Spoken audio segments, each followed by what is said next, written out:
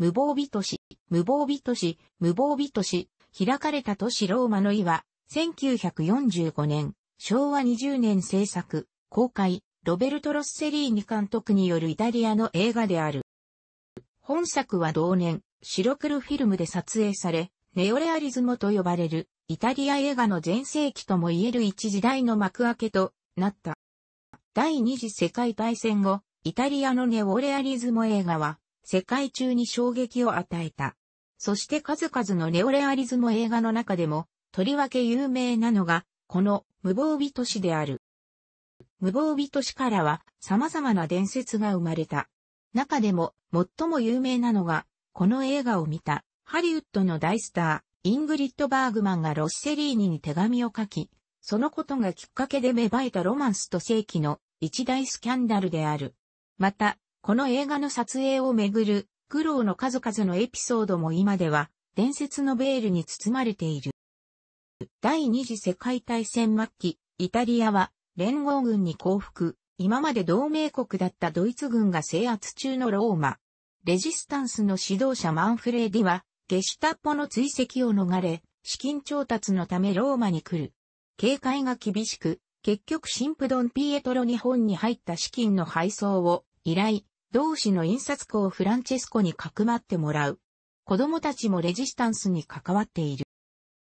フランチェスコとピーナの結婚式の日、アパート全体がナチに囲まれ、神父は子供が隠していた爆弾を見つからないようにする。マンフレーディは逃げたが、フランチェスコら同士は捕らえられ、それを追ったピーナは路上で巡守兵に射殺される。捕らえられた同志たちは途中でレジスタンスの同志に救出され、マンフレーディとフランチェスコはマンフレーディの恋人で女優のマリーナのアパートに逃げ込む。彼女はゲシュタッポの婦人部員の陰謀で同性愛と麻薬中毒になっている。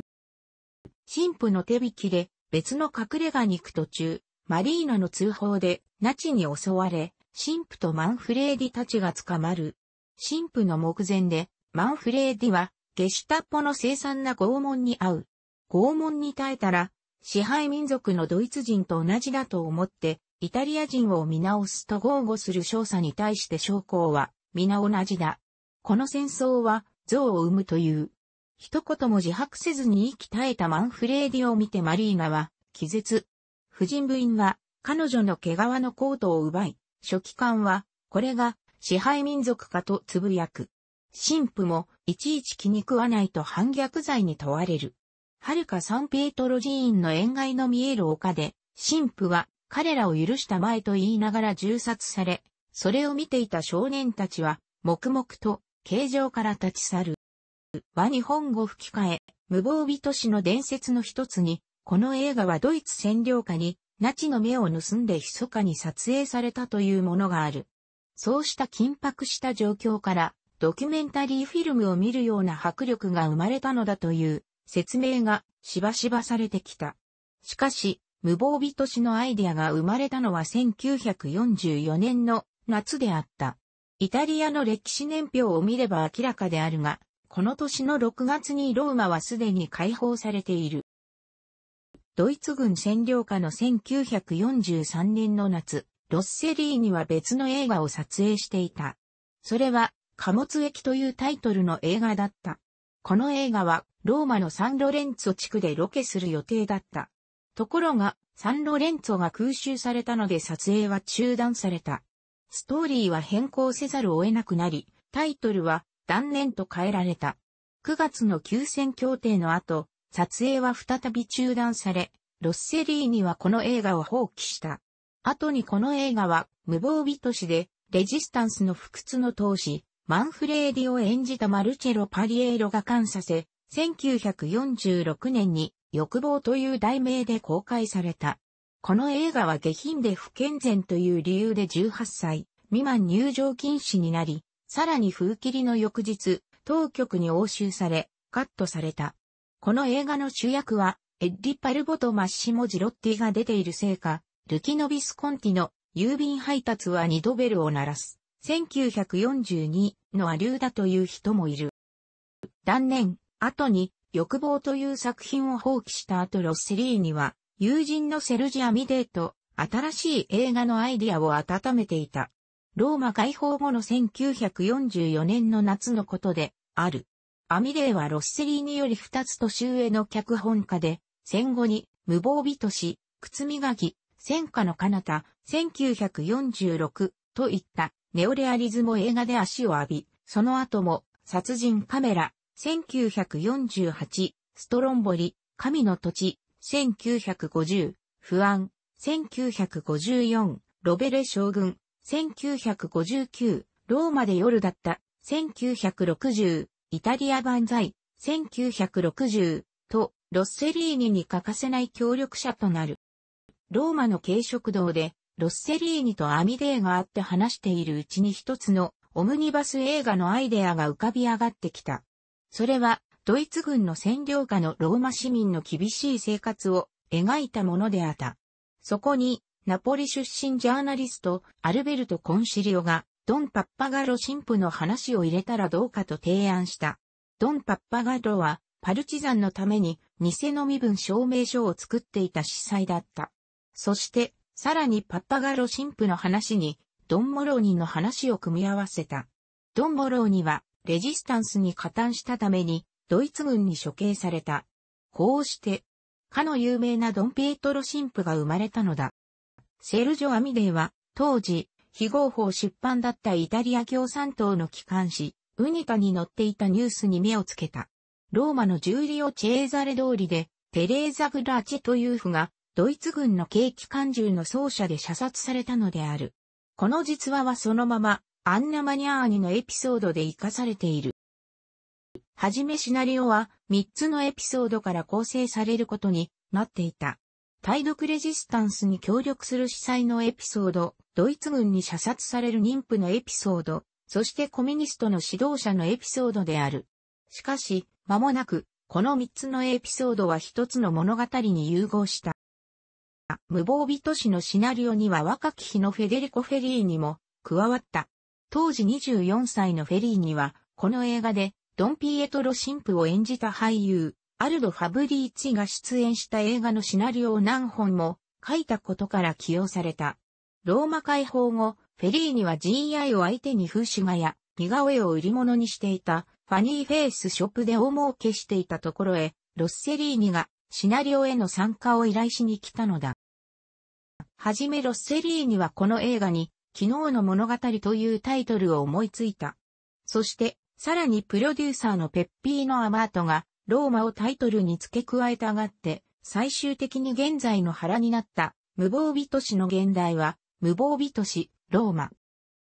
ロッセリーニは制作費の調達に苦労した。何人かのプロデューサーを当たった後、ポリート伯爵夫人が300万リラ、提供してくれることになった。クランクインして1週間後、撮影はストップした。そこでロッセリーには、あちこちを駆けずり回って、家畜業者、ついで映画に投資するように織物賞のベントリーニを説得した。そうこうするうちに奇跡が起こった。ある日、映画の撮影現場に酔っ払ったアメリカ軍の軍曹が紛れ込んだ。その軍曹はロット・ガイガーというハリウッドのプロデューサーらしかった。ガイガーは毎晩、セットに通ってきて、熱心にこの映画のことを聞いた。そして数ヶ月後、2万ドルで米国内の配給権を買った。無防備都市は、ドイツ軍占領下のローマの記録であり、不屈の信念を持った対独レジスタンスの活動を描いている。映画は開幕から夜間のドイツ軍の不気味な行進、ドイツ軍による家宅捜索と緊迫感を称えている。そしてアンナ・マニャーニがドイツ軍のトラックで連行されていく夫を追い、ドイツ兵に撃たれて、モンドリ打って倒れるドラマスティックなシーンは映画史に残る名場面として知られている。この映画は伝説が伝えるようにドイツ占領下で撮影されていないが、その当時の不安や緊張感はまだローマ市民の心から拭うことができなかったのだろう。無防備都市がドラマティックで緊迫感に溢れているのは、そうした当時の気分が投影されているからだ。この作品は次に撮ったネオリアリズムの傑作、戦火の彼方と比べると随分トーンが違う。戦火の彼方はドキュメンタリーの作者のような冷静な視線があり、無防備都市にはドラマティックで人間を間近で見るような態度が感じられる。また、戦火の彼方では非職業俳優を起用したのに対して、アンナ・マニャーニャやアルド・ファブリーツような個性的なスターを起用した無防備都市は人間が確かな存在感を持って迫ってくる。無防備都市は、まず何よりも戦時下の緊迫した状況下の人間ドラマなのである。7歳の息子、マルチェルロのいるカフのピーナ。彼女は他の大勢の人々とパン屋を襲撃してパンをせしめるようなたくましいローマの女だ。また、共産党員で国民解放委員会の幹部で不屈のレジスタンスの当時マンフレディ。彼がゲシュタッポの残忍な拷問の果てに息を引き取るシーンは、この映画の圧巻である。そして、レジスタンスの軍資金を運搬したり、敵の脱走者に偽の身分証明書を渡してかくまうドンピートロ神父。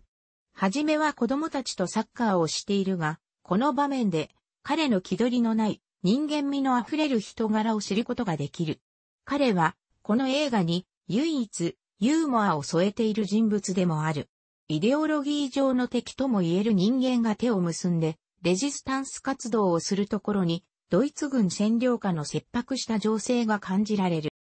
一方、冷酷そのものの二人のドイツ軍将校も強烈な印象を与える。ゲシュタッポの隊長ベルグマン少佐とイングリッドのような悪魔のカップルである。イングリッドは麻薬を餌にマンフレーディの恋人マリーナに近づき、彼女に密告をさせる。この映画のテーマが力強く打ち出されているのは、ゲシュタポでのマンフレーディの拷問のシーンである。ベルクマンは、一気にマンフレーディの口を割らせようと、部下に激しい拷問を命ずる。自信たっぷりの彼は、マンフレーディが吐くと信じきっている。もし、マンフレーディが喋らなかったら、イタリア人もドイツ人と対等ということになる。そして種族としての優劣の差、人間としての能力の差がないということになる。そうすれば、この戦争の意味も失われる。だが、別の将校は酒によって言う、人間の心までは支配できない。我々のしていることは人殺しだ。マンフレーリは口を割らずに死ぬ。彼はイタリア人とドイツ人が対等で、いかなる暴力も人間の心までは支配できないということを身をもって示したのである。そして、ラストで処刑されるドンピエトロ神父も、ロッセリーには、金網の向こうで神父の処刑をじっと見守る少年たちを描いている。少年たちは彼らなりに破壊活動という形で、レジスタンスに加担している。ゲシュタボは、躍起となって、第2のマンフレディや、ドンピエトロ神父を捕まえて処刑するに違いない。だが、彼らが死んでもいつか、この子供たちが後を継ぐだろうとロッセリーニはこの映画のラストで案に示している。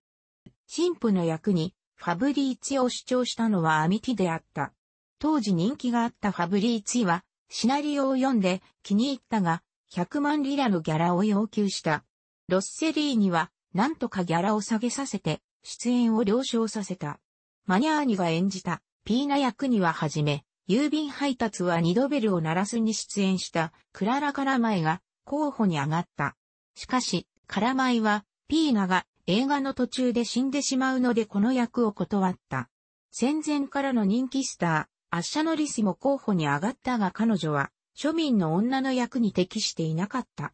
こうして当時、レビューの舞台で大成功を収めていたマニャーニが40万リラで契約された。マンフレーディ役のマルチェット・パリエーロは、ロッセリーニの学友で、戦中、脚本家、監督として活躍していた。マンフレーディを裏切る、マリーナ役のマリア・ミーキは、脚本家のアミティのガールフレンドでこの映画でデビューし、戦火の彼方でも起用される。残忍なファシスト役のハリー・ファウストは、マニャーニの舞台に関係していた、オーストリアでのダンサーであった。